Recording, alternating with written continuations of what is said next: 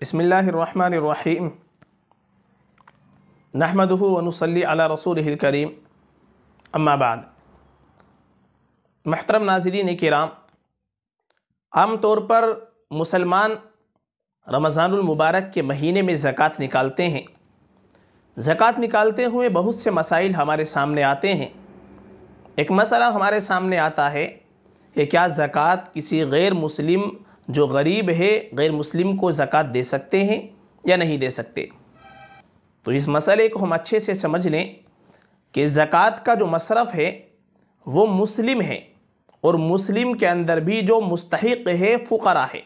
कुरान में इसके ताल्लुक़ से आयत है इन सदक़ातफ़रा वलमसाकिन वलआमिन आलिहा वलमफ़त क़लूबहम वफ़िरक़ाबी वलगारबीन वफ़ी सबीर वबन सबील।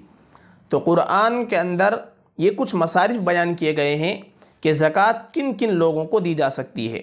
तो इसमें सदक़ात ये फ़ुकरा के लिए है और मसाकिन के लिए हैं और जो मुस्लिम हैं, उनके लिए है। गैर मुस्लिम ज़क़़त का मसरफ़ नहीं है। इसलिए गैर मुस्लिम को चाहे वो कितना ही मुस्तक है, उसको ज़क़़त देने से ज़क़़त अदा नहीं होगी।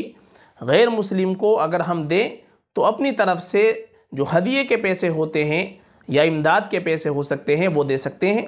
लेकिन ज़क़़त के पैसे गैर मुस्लिम को देना जायज़ नहीं है। अगर गैर मुस्लिम को हमने अपनी ज़क़़त दे दी तो जितने पैसे हम गैर मुस्लिम को ज़क़़त के देंगे, वो पैसे हमारे ज़क़़त के अदा नहीं होंगे, उनकी दोबारा से हमको ज़क़़त निकालनी पड़ेगी।